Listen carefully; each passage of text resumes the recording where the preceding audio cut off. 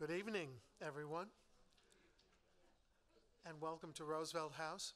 I'm Harold Holzer, Director of the House.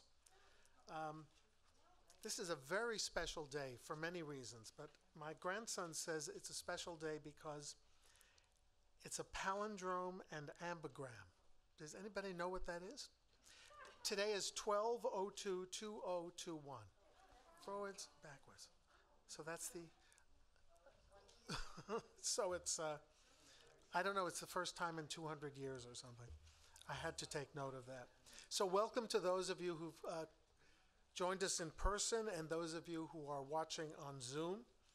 It's wonderful to see our crowds steadily growing as we continue rolling out public programs.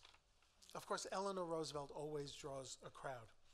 Um, as her biographer, Blanche Wiesen Cook, tells us, and Blanche is here, she used to visit this one time family home um, after her husband sold it to Hunter College. In those days, when the house served as the headquarters for student clubs and activities, Eleanor might drop in and talk to students.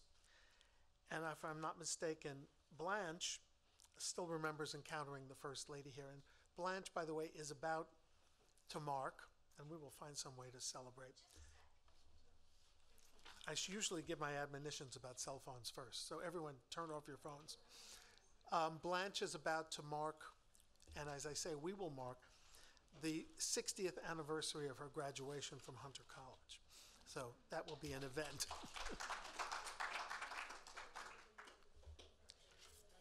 As I'm sure you know, Eleanor and her growing brood of children lived here from about 1908 until 1933, save for the years that FDR served as Assistant Secretary of the Navy in Washington.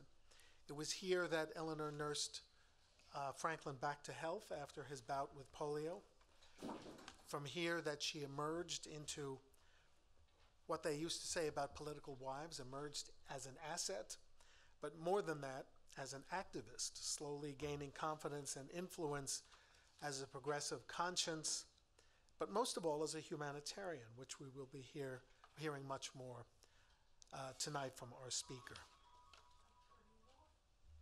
But here is where she was also first inspired, whether by maturing as a human being or simply through a desire to get away from her mother in law, we're not quite sure, or a combination, to get out of the house and do things uh, for society in general. Ultimately, becoming, as we know, a friend to the friendless, a voice for the voiceless, and a champion of the oppressed. I'm sure you, many of you who are here, have also heard me tell the story about the house being built and then given to Franklin and Eleanor by FDR's mother um, as a Christmas present. And it was a gift that kept giving because it came with Sarah moving in to the west side of the house and Eleanor the east. Uh, Hunter President Jennifer Raab likes to call this the first New Deal. If these rooms could talk, we could, of course, eavesdrop on the conversations Eleanor had about her domestic skills with her formidable mother in law. Uh, also, discussions about whether or not to end or continue her marriage. Conversations about her inching toward a career in public service herself. Or maybe when we're upstairs in the Four Freedoms room uh, to buy books after this event, um, we can imagine ourselves on the scene in that room the day Sarah decided that it shouldn't be two rooms separated by a wall divider, but one to, to represent the grandeur of their family, and thus gave herself unfettered access to Eleanor's side of the building, as she put it, for the next 25 years, sometimes at the least expected moments. I love that description. I have no idea what she meant, but we can imagine. And one floor above that is the small library that FDR used as his transition headquarters after his election in 1932, forging right here in this building the foundational building blocks of the New Deal. And then just down to the south of that is the parlor from which FDR gave his brief address the, the morning after the 1932 election, uh, and then filmed it right after that for Fox Movietone News, surrounded by his mother and two of his children. Eleanor was in the building but she was downstairs on the first floor where you all signed in tonight, um, talking, chatting with the press. Maybe that was the first spin room, but leave it to Eleanor Roosevelt to have invented the idea of spinning the story. I think there was a slight problem with Hoover's concession at that moment. So, with all that history in mind, all that history of place, it's kind of ironic that we're meeting in the auditorium this evening. Of course, it's the largest public room in the building, but we can't help remembering that in Eleanor's day, it serves as the kitchen for the house. So, it's probably the space where Eleanor spent least time um, down here. As Blanche has reminded us, however, she could make grilled cheese, and she often did that for students.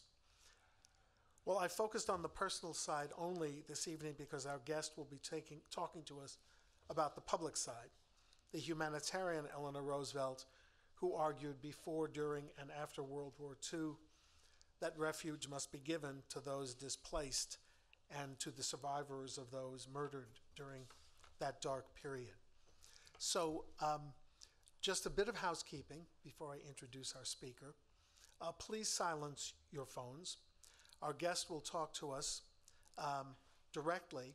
As you may have noticed, I should have said in the beginning, Professor Leah Garrett is unable to be here this evening, but we get to hear from John directly, which is nice.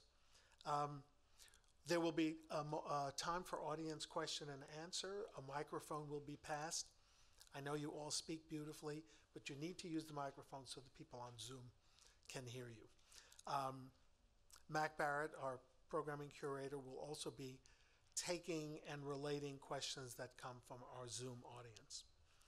Our guest this evening, as you know, is John F. Sears, who from 1986 to 99 served as executive director of the Franklin and Eleanor Roosevelt Institute, and then the next seven years as associate editor of the Eleanor Roosevelt Papers. And he's taught at Tufts, Boston University, and Vassar. His previous book, which I told him upstairs I enjoyed, was Sacred Places American Tourist Attractions in the 19th Century. A really fascinated, fascinating look about not only these landmark buildings and spaces, but the origins of the American tourism industry. Um, this evening, of course, he's here to speak on his latest, Refuge Must Be Given Eleanor Roosevelt, the Jewish People, and the Founding of Israel. It's a brilliantly researched and compellingly written book.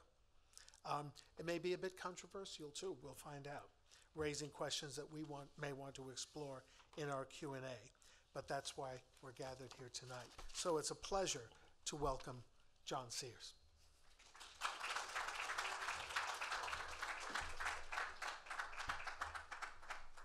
Thank you, Harold, and uh, let me know if you can hear me well. Um, can you hear me? Take off my mask. That's a good idea. wow, I'm free. Um, it's wonderful to be speaking uh, to a live audience, although I also know there, are a lot of people on Zoom, which is good too. Um, thank you, Harold, for that introduction, and thank Mac for uh, helping to organize this event and organize me.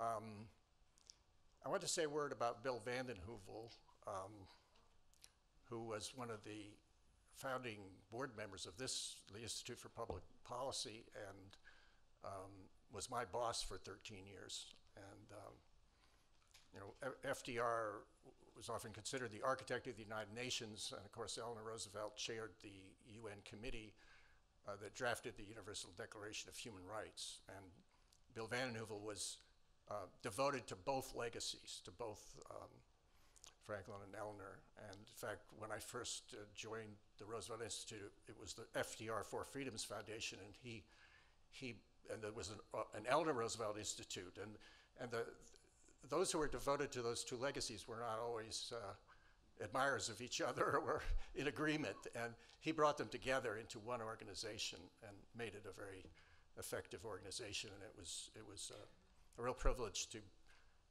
to be there uh, when that organization was being developed by him and led by him. So um, I wish he was here to to hear my talk. I don't think he would agree with everything. I'd be interested to what he what he thought about it. But uh, he was uh, an amazing leader, and um, and left a lot of legacies behind, including, uh, in part, this institute. So, um, beginning in 1909, um, Eleanor Roosevelt signed her letters to FDR ER, so I will sometimes refer to her as ER, which sort of puts her on the same playing field with FDR, where she belongs. There are several reasons why I think um, the subject about which I write in Refuge Must Be Given are worthy of attention. One is that the issue of admitting refugees to the United States that was so critical in the 1930s and 40s is with us again today. Many people are desperately seeking to enter our country, and we are again erecting barriers to keep them out. Another is that Eleanor Roosevelt was a key player in the efforts of people who sought to bring more refugees into the United States in the 1930s and 40s. Um, but the details of, uh, of her work uh, have not been given sufficient attention. The, books about refugee policy um, in the 1930s often give her a line or give her a paragraph, but they don't, they don't give us a full picture of what she did.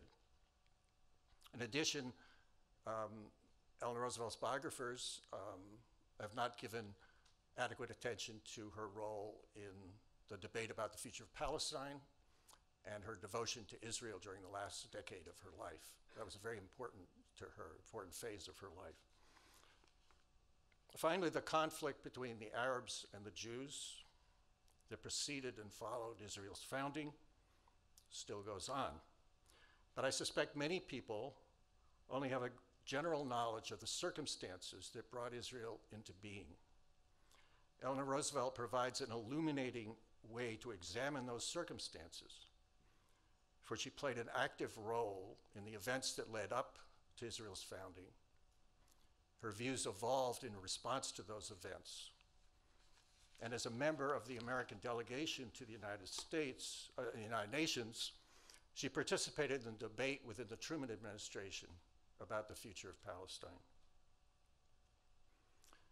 One of the most compelling reasons for the existence of Israel, Eleanor Roosevelt wrote in 1956, is the fact that it is the only sure haven for the Jewish people. In troubled times when they are the first to suffer, it is essential for them to have their own country of refuge.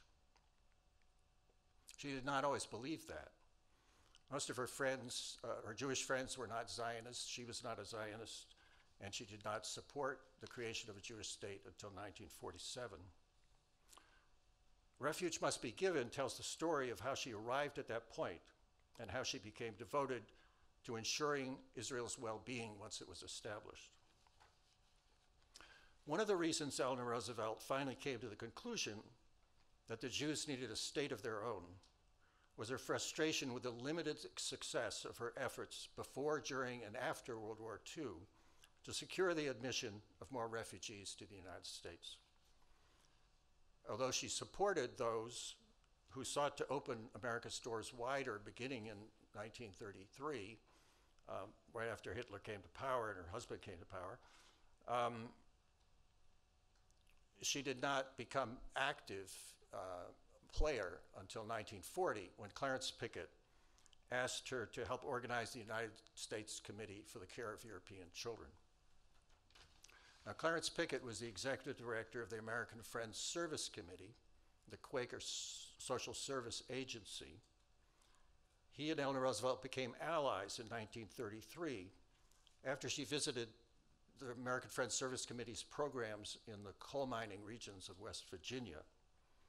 They went on to work together on ways to assist the out of work coal miners, on fighting anti Semitism, and on efforts to admit and welcome more refugees to the United States.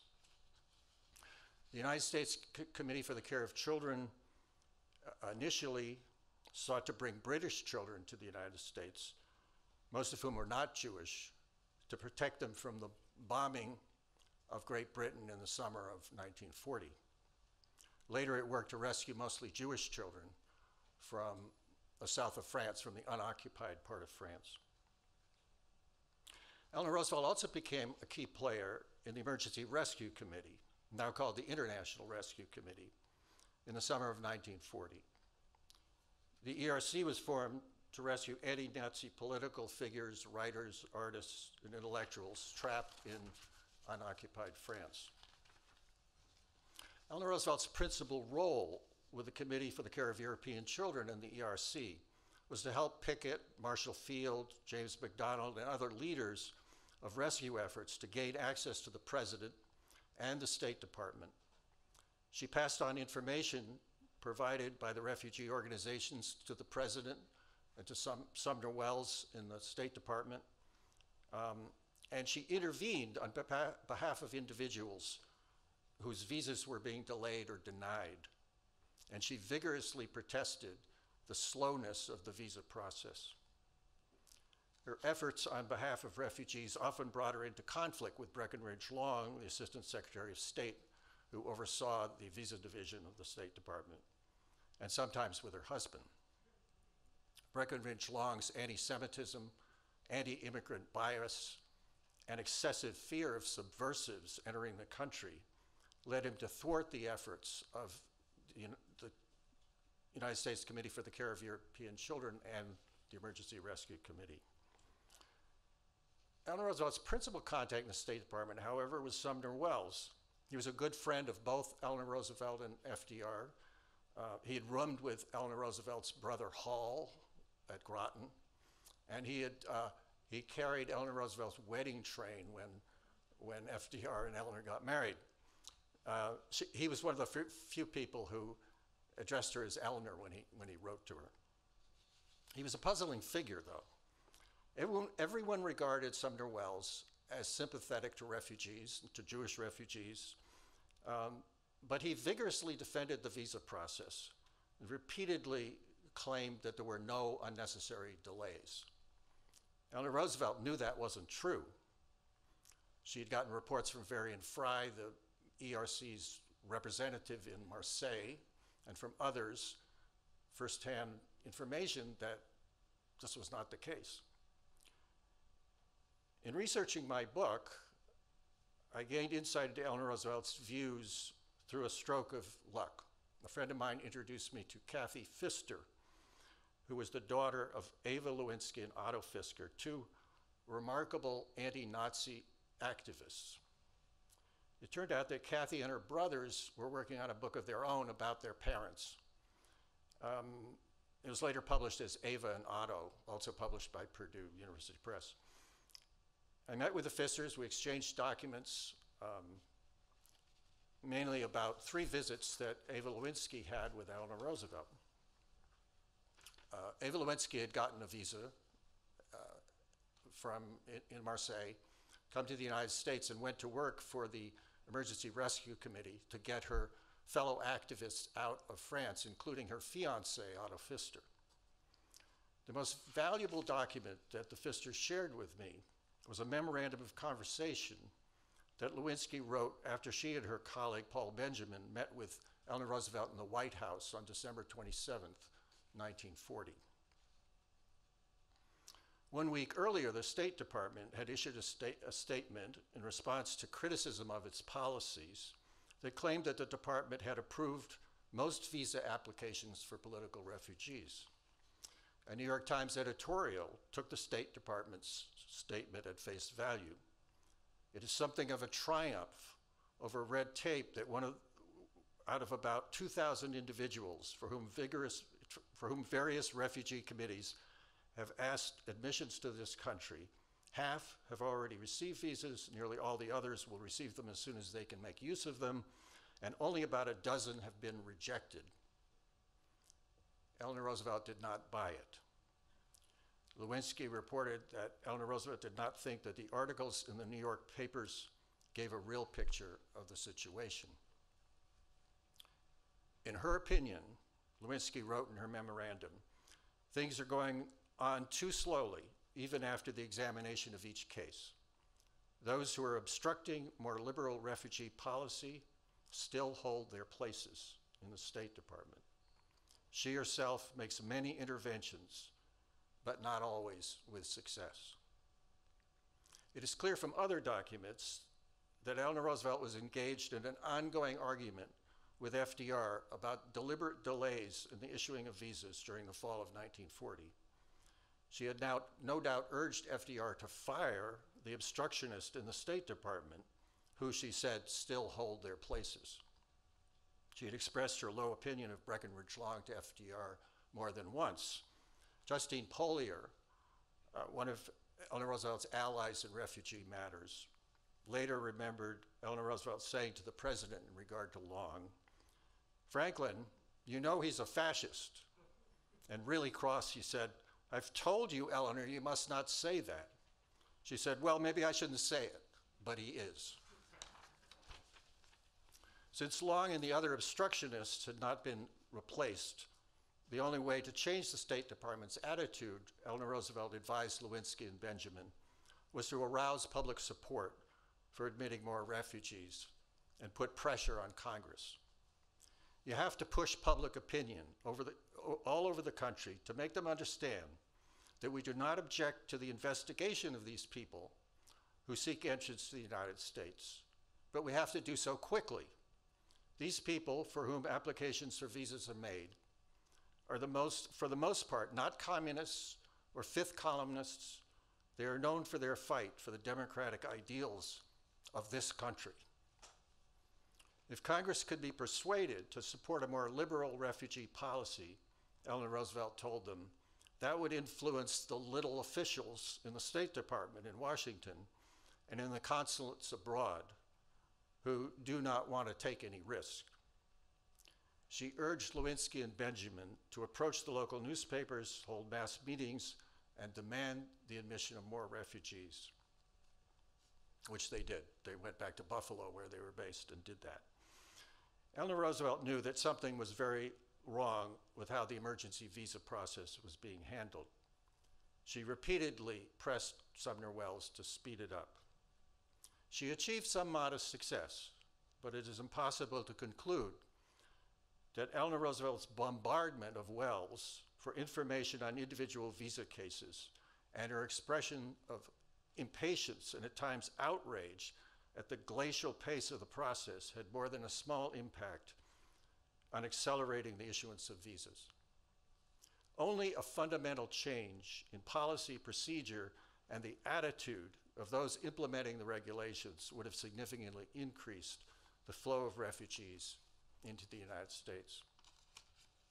Welles, however, continued to insist that the process was functioning well.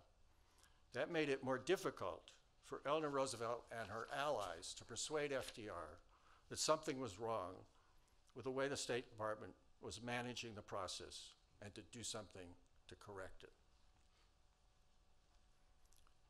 After FDR's death in April 1945, and after Eleanor Roosevelt publicly, uh, and after the war, Eleanor Roosevelt publicly pressured a still anti immigrant, anti Semitic Congress to pass legislation to admit more refugees to the United States.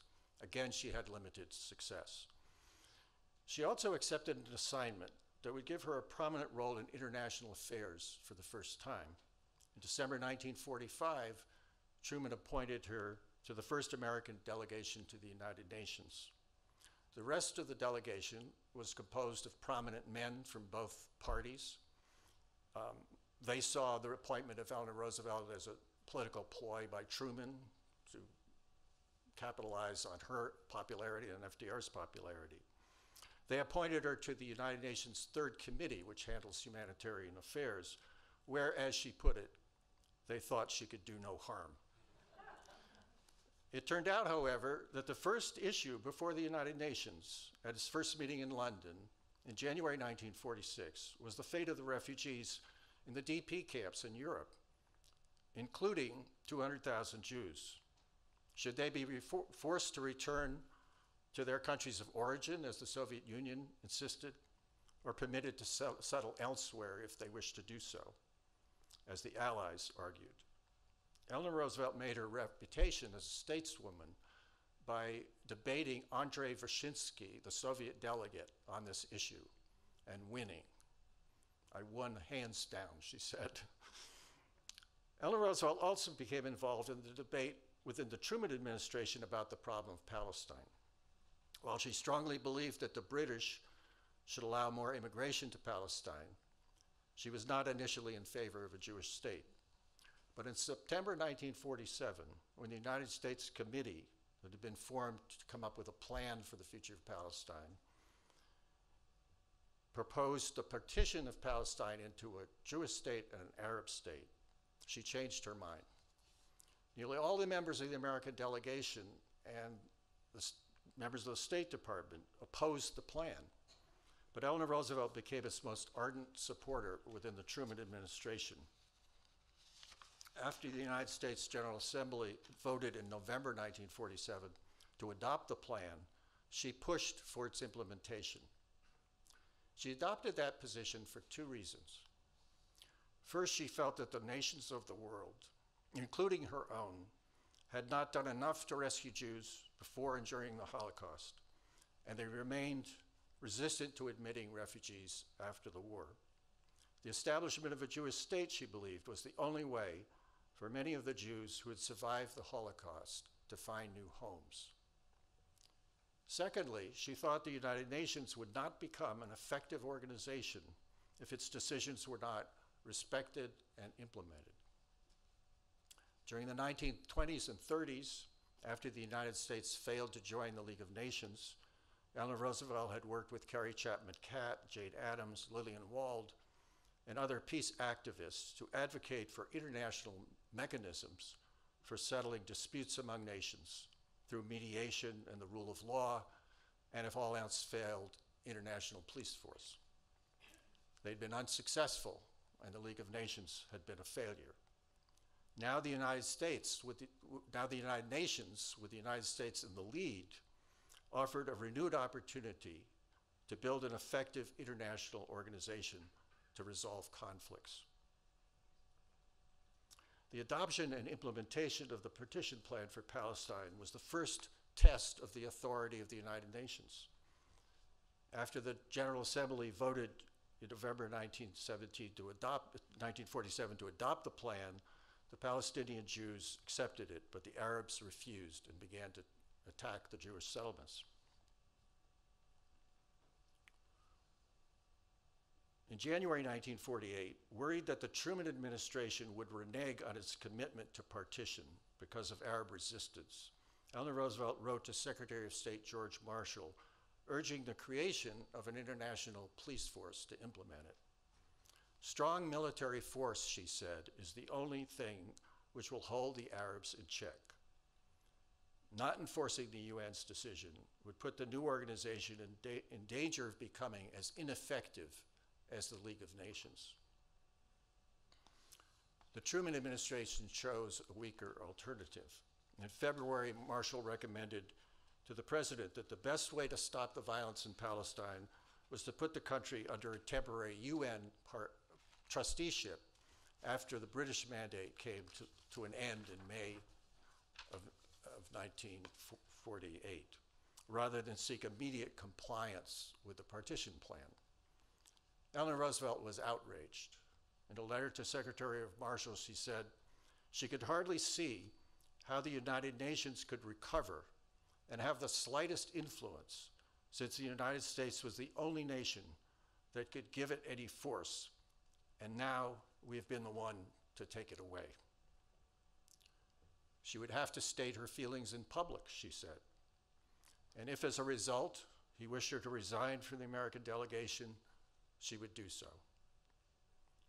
She sent the same message to Truman. Both men knew that stating her feelings publicly meant making her criticism known through My Day, her syndicated column, widely syndicated column. She could reach a very wide audience with her criticism of the administration. But it was not politically uh, advisable for them to uh, have her resign from the United Nations, so she, she stayed on. Um, she wrote two columns criticized the administration um, and said that by not fully backing the UN decision with force if necessary, the United States had undermined the ability of the UN to act as a peacemaker. During the following weeks, the Truman administration continued to seek support at the UN for the creation of a trusteeship for Palestine. But the issue was settled unilaterally when uh, David Ben Gurion declared Israel a state on May 14th, 1948. The Jews had gotten the upper hand in the conflict with the Arabs and would go on to defeat the Arabs in what they would call the war, their war of independence, and the Arabs would call al Nakba, the catastrophe. Eleanor Roosevelt sympathized with the suffering of the Palestinian Arabs who fled or were driven out by the Jews during the war and strongly supported United Nations effort to aid them. But she did not believe that the situation in which they found themselves resulted from the infliction of injustice upon them by the Jews or by the United Nations. It was, she thought, the consequence of a conflict the Arabs themselves had started in defiance of the United Nations. They had lost. Now she believed they should move on. The refugees should be settled in other Arab countries. What is most striking about her views on the establishment of Israel is the absence of doubt. There's no indication that she wrestled with the moral complexity of the struggle between the Arabs and the Jews, or grasped the Arabs' profound expression, experience of, of dispossession. After Israel's founding, Eleanor Roosevelt contributed to the success of the new nation's efforts to absorb thousands of immigrants, especially children, in its early years. Her devotion to Israel did not stem solely from the fact that it provided a solution to the, uh, to the Jewish refugee problem. Refuge Must Be Given describes how she found in Israel a realization of some of her most deeply held beliefs about child welfare, public health, citizenship and a democracy, cooperative community building, rural revitalization, and the provision of resources to uprooted people who had lost everything so that they could rebuild their lives. I'm going to go back to the 1930s to pick up this part of the story. One of the greatest influences on Eleanor Roosevelt's views on the rehabilitation of displaced persons was Clarence Pickett and the American Friends Service Committee. When she visited the Service Committee's programs for out of work coal miners in West Virginia in 1933, she came away so impressed with their work that she joined Pickett in establishing a, com a community for resettled miners in West Virginia called Arthurdale, where they could restart their lives. The Quaker program of long-term rehabilitation, she wrote later, seems to me to fit in with a philosophy which I have always held, namely that while charity may be necessary, our aim should be to get people back to a point where they can look after themselves. Eleanor Roosevelt also began in the 1930s to take an interest in the cooperative Jewish settlements in Palestine. Although, as I said earlier, most of her Jewish friends were not Zionists, they supported the Jewish settlements in Palestine because it was the one place where Jewish refugees were wanted and needed. Through her close friend Eleanor Morgenthau, Eleanor Roosevelt learned about the work of Youth Aliyah, an organization that brought children to Palestine. These were often, uh, sometimes orphan children, but also children whose parents realized there was no future for them in Germany or Poland or later on in Morocco. And um, they put their children in the hands of Youth, Youth Aliyah so that they would have a future. Um, so, um, sorry. So Youth Aliyah um, brought the children to Palestine, taught them Hebrew, trained them in agriculture and various trades. Many of them went to work in kibbutzim throughout Palestine. In 1938, Eleanor Roosevelt wrote in her daily column, My Day, about two youth Aliyah villages in Palestine brought to her attention by Hadassah, the Women's Zionist Organization of America. She found in these youth villages an expression of the same values she admired in the work of the American Friends Service Committee. Rather than offering charity, Youth Aliyah helped the children under its care to independence. In one village, Eleanor Roosevelt wrote, the children themselves carried on the entire management of the village with the guidance of instructors. Hadassah was founded by Henrietta Szold, who was strongly influenced by Jane Addams and Lillian Wald, the leaders of the settlement house movement in America. Szold established an institution much like the settlement houses in other cities to serve Baltimore's Russian Jewish immigrants. Inspired by her Russian students, she became a Zionist and visited Palestine. In 1912, after her return, she founded Hadassah. When Hadassah sent the first American nurses to Palestine, soon after its founding, Szold asked them to visit Lillian Wald's Henry Street settlement in New York before they left for Palestine to study its methods. Following the Henry Street model, the nurses settled in poor neighborhoods of Jerusalem and offered health services to its inhabitants. And that was the essential strategy of the settlement house. You went to live within the community you were serving and uh, got to know the people and their needs, and so you could serve them effectively and directly. In 1920, Szold moved permanently to Palestine, and in the 1930s, after Hadassah became the American sponsor of Youth Aliyah, she became director of the organization's programs in, Israel, in Palestine. The work of Youth Aliyah and Hadassah naturally appealed to Eleanor Roosevelt, who not only cared deeply about the welfare of children, but whose earliest experience in assess, assisting poor immigrant populations had been in New York City's Rivington House Settlement House. Like Szold, Eleanor Roosevelt was strongly influenced by the founders of the settlement house movement. In 1952, Moshe Kol, then head of Youth Aliyah, asked Eleanor Roosevelt to become the organization's world patron. She agreed, and in that role visited Israel four times, touring Youth Aliyah youth villages and training centers, as well as the medical facilities run by Hadassah. She also became an important fundraiser for Hadassah and Youth Aliyah in the United States, Canada, Great Britain, even in Mexico. On her first trip to Israel in 1952, Eleanor Roosevelt visited Lebanon, Syria, and Jordan before she entered Israel. She met with Arab leaders. She visited the Arab refugee camps, the Palestinian Arab refugee camps. She was exposed to the Arab point of view. Um, it didn't change her, her mind about um, the political situation, but she listened. She was always a good listener. Um, she'd been a, she was a strong supporter of the process of decolonization that had take place after World War II and took a great interest in the developing nations of the world. In fact, her 1952 trip to Israel was part of a larger journey that included Pakistan and India. Her account of that trip was called India and the Awakening East. But she had not completely shed a colonialist, even an imperialist, consciousness.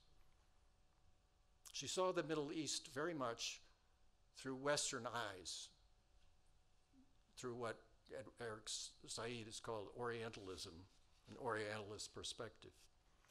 She regarded the 1948 war uh, as, as a war of independence, similar to the American Revolution. She identified very much with the experience of the Jews in Palestine as freedom fighters, you know, like, like our own uh, people who re revolted against the British. They were, of course, they were fighting the British as well as the Arabs in the beginning. Um, she saw the settler, the Jewish settlers in Palestine and Israel as pioneers, like American pioneers. As pioneers, they had reclaimed the lands that the Arabs had let go to waste. That was her point of view.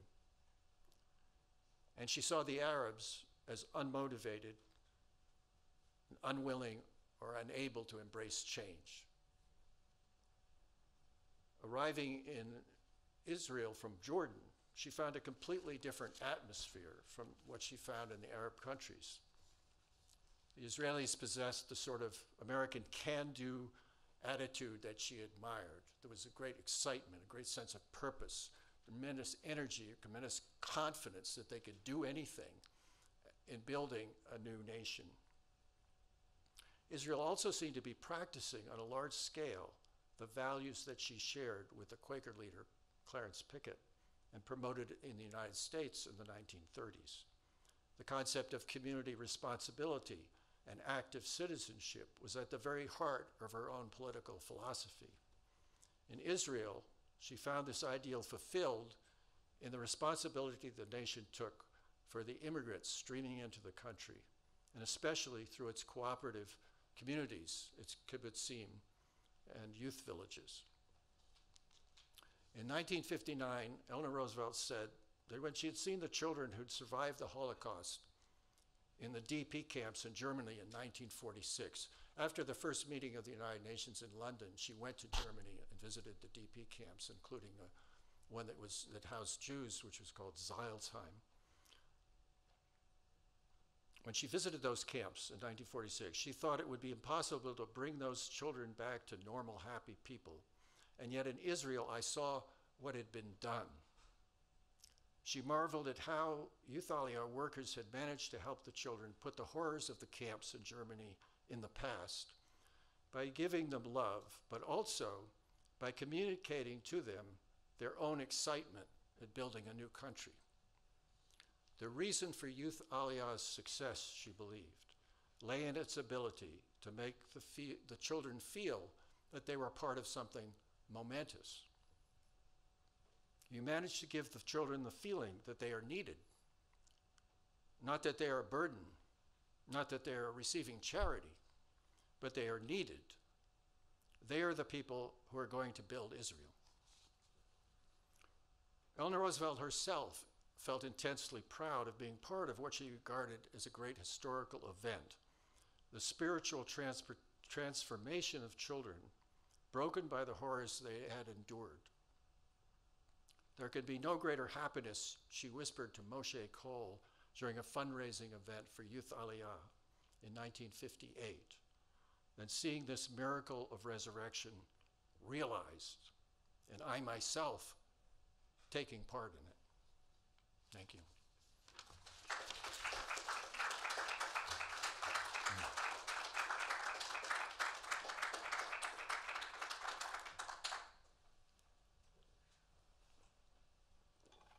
Would be happy to answer any questions you may have.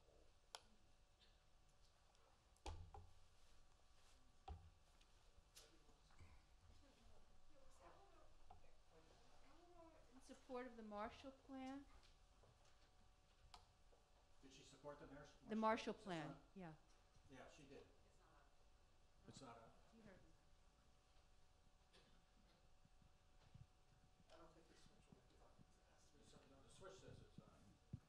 Is it on? There, there we go. Um, uh, yeah, she she supported the Marshall Plan. What, why, why do you ask? Oh, something, um, I know Morgenthau. Oh, I'm sorry. Morgenthau, oh, it is working, uh, didn't support it. Uh, Am I right about that? Well, he, he wanted to turn, Henry Morgenthau, you're speaking of. Henry Yes. Morgenthau did not, he, he had a plan to turn Germany into a pre- predominantly agricultural nation. He thought that the only way to control Germany was for it to get rid of its industrial base, you know, not to become this dynamo of industrial productivity, but to become basically an agricultural country.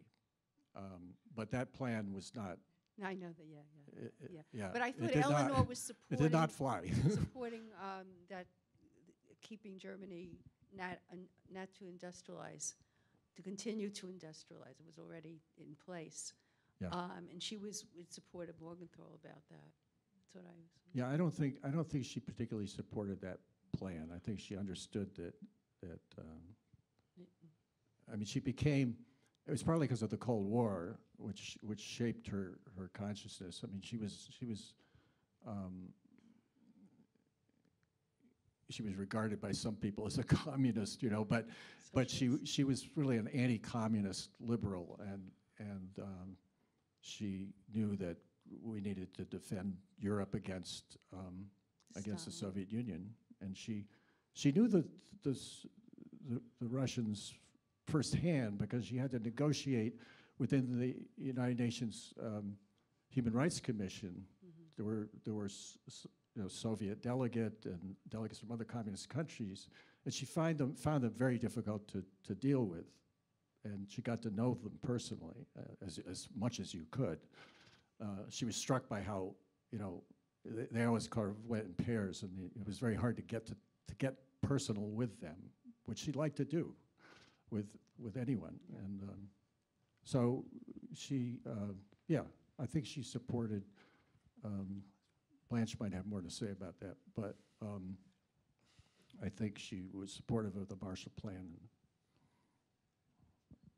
Germany's recovery.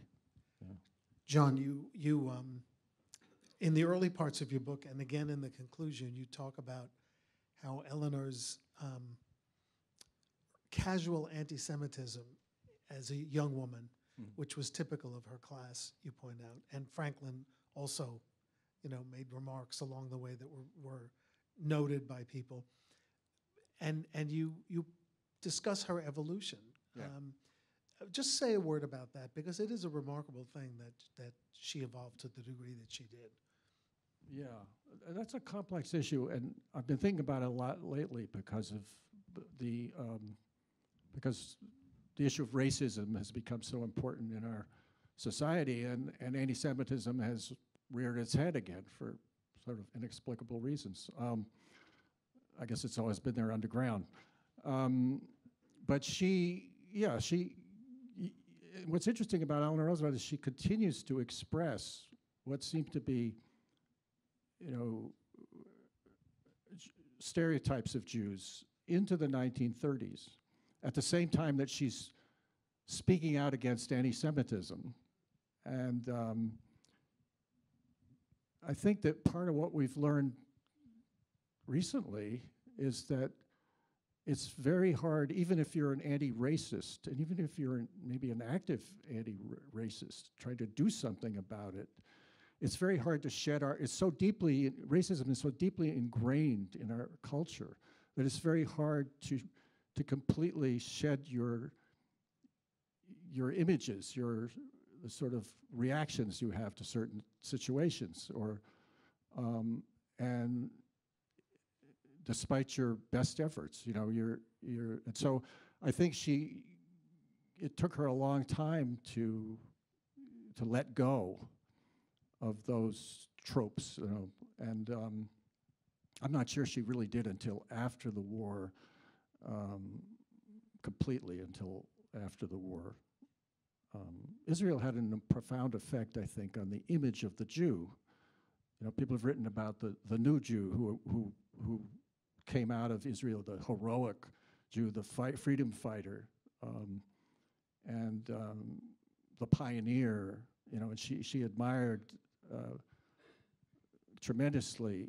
Um, she became very good friends with Joseph Baratz, who was who had founded a kibbutz in one of the first kibbutz, uh, Dagania, in 1909, and uh, he was sort of the ideal for her of this pioneering um, figure who was she identified, of course, with American pioneers and so on. So, um, but uh, I think that how did she how did she shed her anti-Semitism? She she always learned. She, you know, she didn't go to college. She learned by doing and by interacting with people.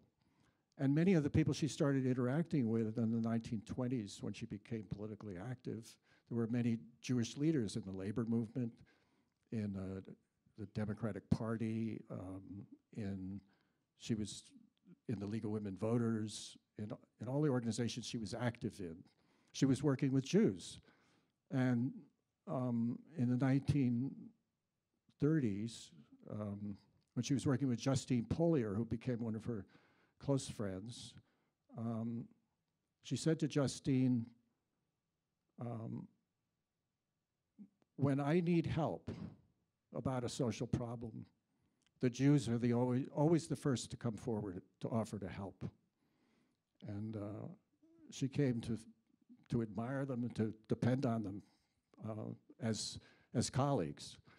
You know, at the same time that, as I said, that she hadn't completely shed these ideas about Jews. And she, she, you know, she advocated spreading Jews out more, more thinly among the, you know, professions they were dominant in, spread them out in the country. That, I mean, she saw that as a way of reducing anti-Semitism, but it was, you know, it's also a kind of, you know, we'd see it today as a kind of form of anti-Semitism, so, or quotas, right?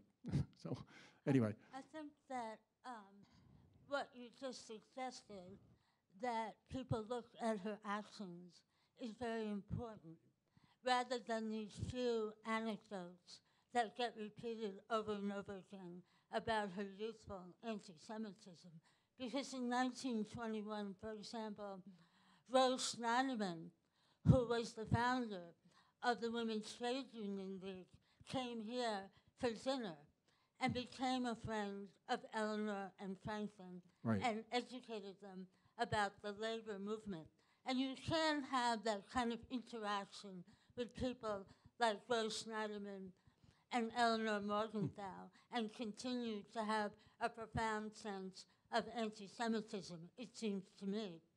And the other thing that I'd like you to comment on is her friendship with Lillian Wald, who mm-hmm. brought yeah. her a great deal of information about what was going on with the Jews in the 1930s in mm-hmm. Germany, which she then purveyed in her column, My mm. Day. So could you talk a bit more about that? I'm not sure what you're, are you, are you asking about the fact that, that Eleanor Roosevelt did not speak out at my day against what was going on? in she did. What? And she got her information from Lillian Wald, who Yeah. had good contacts in Germany. So could you talk a bit uh, more about that? Yeah, um, yeah. El- Eleanor Roosevelt knew in a very personal way what was going on in Germany from from Lillian Wald, from Alice Hamilton, from James uh, McDonald, who was um, James McDonald uh, was head of the Foreign Policy Association and had uh, close contacts in in Germany and the German government, and he went there. Um, in 1933, just after Hitler came to power, um, and actually spoke with Hitler about about the persecution of the Jews, which was already beginning, and um, and Hitler told him, you know, we're we're going to show the world how to solve the Jewish problem, you know, essentially, and he came back and. Um, asked to see Eleanor Roosevelt, who they were they were friends, and she immediately invited him to the White House and made sure that he- not only reported to her but spent a couple hours with with FDR, and uh, and then um, there were several more meetings uh, that she arranged with FDR as McDonald became the um, High Commissioner for Refugees coming out of Germany, which was established by the League of Nations. So he was trying to handle the refugees who were coming out, and, and coming into France, for example. He got so frustrated with it. I mean, he, he found that he couldn't solve it. It was a political issue and not one that someone in his position could solve. And, um, but he came back and reported about his work and the difficulties of it to Eleanor and to Franklin. So, so they knew what Hitler was about from very early on. You know, um, neither Eleanor nor Franklin nor, nor the Roosevelt administration spoke publicly, you know, critically of the persecution of the Jews in Germany, and uh, that's been, you know, that was puzzling um, but Richard Breitman, who wrote a book called FDR and the Jews, has written another book recently called The Berlin Mission. And it's about our consul to Berlin, during the 30s. He was actually a consul there from 1929 to 1939. And uh, he, he worked, uh, uh, um, Clarence Pickett knew him because the, the, the Quakers had, um, were in Germany trying to help get immigrants out. And um, Geist was very sympathetic to Jewish immigrants and was trying to get them out. And Geist reported back to the State Department. He said, don't publicly criticize Germany. If you do that, they may break diplomatic relations. And if they break diplomatic relations, we won't have any consulates in Germany, and I won't be able to do my work anymore. You know, I won't be able to get anybody out. Um, so that, uh, I didn't know that, you know, before uh, Breitman wrote that book. I, I didn't know about that aspect of it, but it, it helps explain um, why um, why the Roosevelt administration did not condemn what was going on, and why Eleanor Roosevelt didn't didn't do do that either. So, um, other questions? Oh, sorry. Who is next?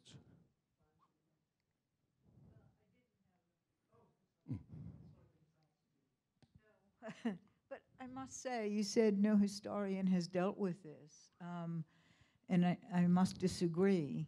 I Mhm. didn't deal with Israel enough, but I did deal with this at great length. Uh, And there are many, many people in Germany, women writers and activists, who are very close to Eleanor Roosevelt, and in France and in Britain. mhm. And so there's this whole underground movement, like Bryher, and who, whose book has just been reprinted, Visa for Avalon, and everybody should reread Bryher's Visa for Avalon. Nobody listened. She was warning everybody from 1932 on. Mhm. And these are people, Eleanor Roosevelt, you know, there's just endless numbers of contacts. And the Uh-huh. decision not to speak out was political.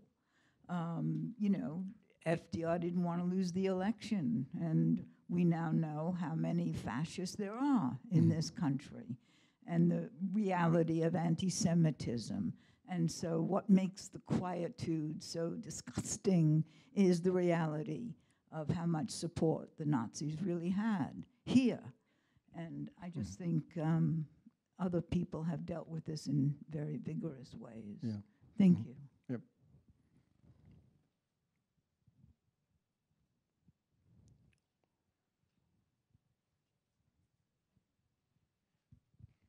Hi, thank you so much for coming tonight. Um, as a Jewish American, the turning away of the St. Louis ship by the U.S. government was really heartbreaking to see. Um, did Eleanor Roosevelt have a stance on the St. Louis ship, and why do you think it was turned away? Well, she, she didn't. I don't think.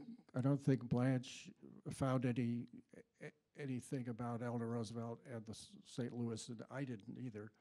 Um, Eleanor Roosevelt was involved in another ship called the Quanza, uh, which um, which was in a similar. It was a much smaller group of people.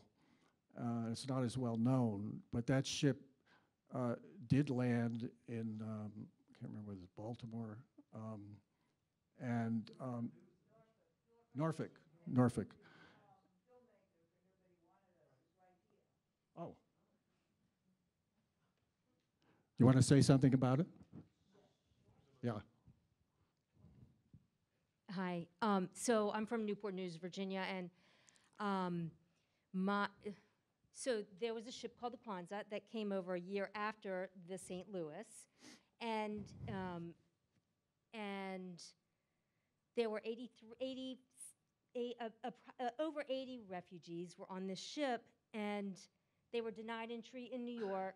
They were denied entry in Mexico. And then they were going to refuel in my hometown port, which is in Hampton Roads, Virginia. I'm, I grew up in Newport News, and this was in Norfolk. And lawyers held the ship at port. It was some family members of mine who held the ship at port. Eleanor Roosevelt did put, she did um, communicate with, yes, she did want them to come in as her guest. She communicated with um, um, Breckinridge Long at the time. And said that we should let them in. And she was also communicating with her husband, right, Blanche? Yeah. Blanche, Blanche was in my film, so she was the expert on this topic, if you want to see. Well, I mean, she, you know, she was appalled when the SS St. Louis was sent back. And it was like, who was it? Earl Miller was stationed somewhere. He said, Do you know that ship is out there and they're turning it around? And it's not clear what happened, that she couldn't stop it. But when the SS, she said, This will be the last time. And then the SS Quanza. And then Breckinridge Long goes crazy after after that. And he says to FDR, Who's in charge here? Me or your wife? and um, and so FDR says, You and gives yeah. And this is interesting, the way, the proof of this was in Breckinridge Long's war diaries.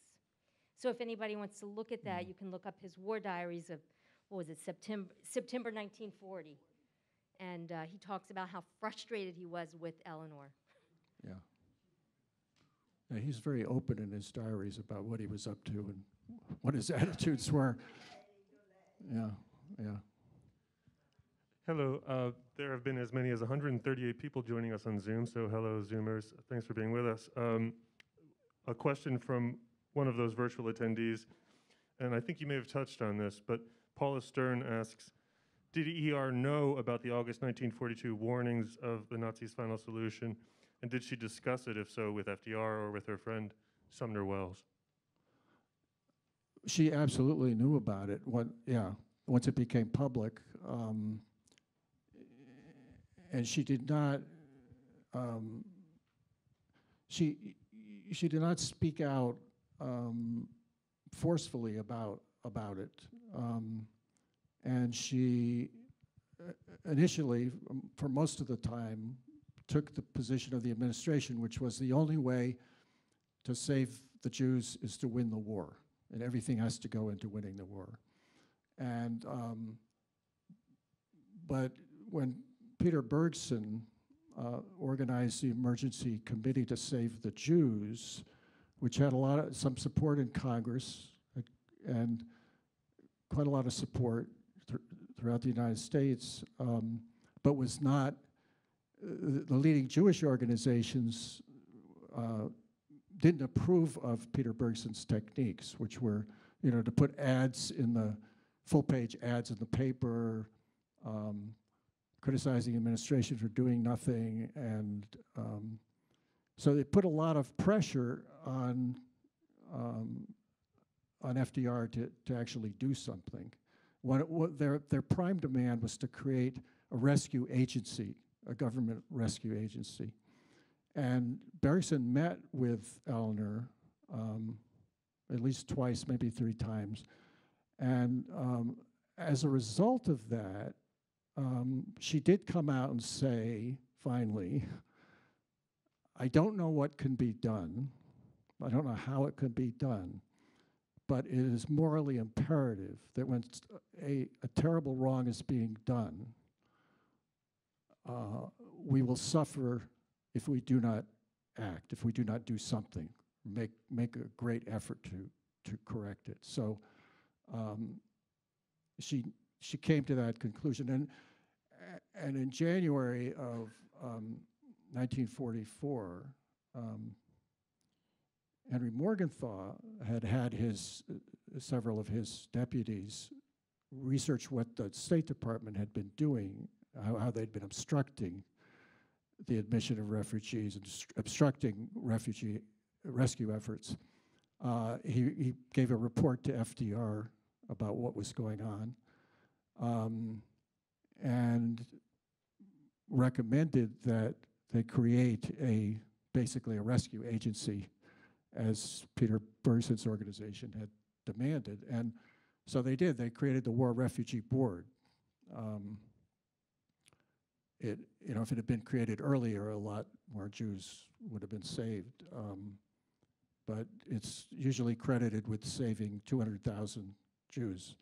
Um, but it was not well funded. It was um, they had to depend on other other departments to get things done. So it was um, it wasn't as effective as it as it should have been.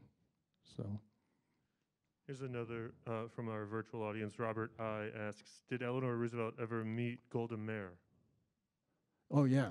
Hmm. Yeah, she was, she was a great admirer and friend of Golda Meir. Golda Meir actually was an, one of the other people who addressed her as Eleanor. so, yeah. Um, She became friends with Ben Gurion, too. She, she was a great admirer of Ben Gurion.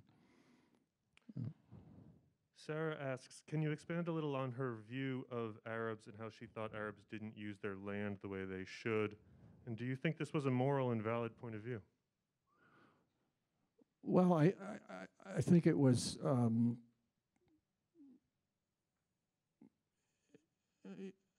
it was, it's a difficult one to deal with because I, I understand where she was coming from, but I don't think she, she had appreciation for, for other cultures that were so different from what she was familiar with. She didn't know Arabs. You know, she knew Jews well, American Jews, and she had many contacts with them and interactions with them, but she knew very few Arabs, and the ones she knew, she knew fairly superficially. And so she, she didn't, she didn't know the culture, um, and she was looking. She had this idealistic notion that, you know, that Israel would be a model for developing countries. It was a developing country, but it was very different from other developing countries because most of the people were immigrants coming into Palestine and later Israel. Um, whereas um, India, where, you know, these were not immigrants, Pakistan, these were not immigrants who were trying to develop their countries. So, but she thought that, that developing countries could learn a lot from Israel and that if the Arabs would just make peace with Israel, uh, that Israel would aid them, would help, you know, had technical expertise, that had experience that would help the, the Arab countries develop. Um, and she knew that the Israeli leaders were wanted to do that. I mean, you know, there, there was there was a potential for exchange for the Arab countries had natural resources like oil that would have been helpful to Israel's development, and Israel had had this expertise which would have been helpful to the Arab countries. So, you know, she was she was an optimist and an idealist, and she she she had a wonderful vision of what might might be possible if there was peace between them. But um, it was, you know, it was naive. So.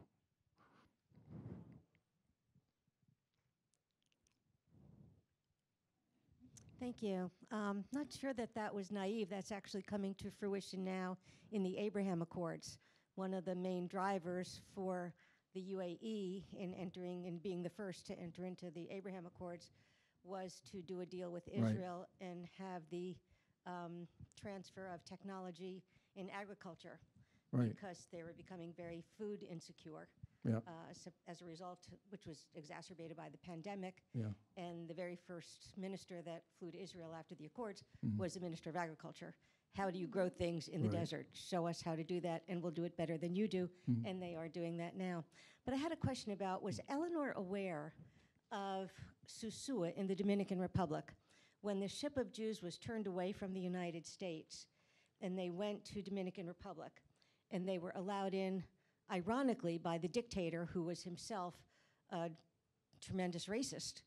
Um, but it happened that the Jews on that ship happened to be white. And so he let them into Dominican Republic through a city called Sosúa. And they did live there and eventually migrate to the rest of South America where they could get visas to travel to go further into the Americas. Was she aware of that? Did she help them in any way? Um, it was a small group do of you, people. Do you so- know anything about that, Blanche? I don't. Yeah. Mhm. Uh-huh. Yeah. Yeah. Dominican Republic was the one country that was willing to take Jewish immigrants. They they were willing to take uh, um, during the 1930s, but That's right. Um, into Sosúa, that- yeah. but mostly because they were white. It, it, it was yeah, he wanted act, he wanted to uh. He was white he wanted to lighten the exactly the right. skin color of his people. That's yeah, exactly right. yeah, it was not for the best of motives.